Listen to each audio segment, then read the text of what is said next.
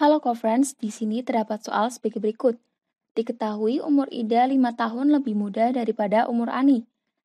Maka jika umur Ani sekarang X tahun, nyatakan umur Ida dalam X. Lalu berapakah jumlah umur mereka sekarang? Nyatakan dalam X. Kita misalkan dulu, umur Ida sama dengan UI dan umur Ani sama dengan UA. Diketahui umur Ida 5 tahun lebih muda daripada umur Ani.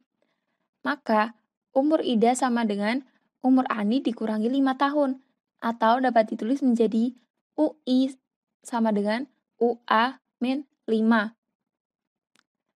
Lalu, yang pertama A. Jika umur Ani sekarang X tahun, nyatakan umur Ida dalam X.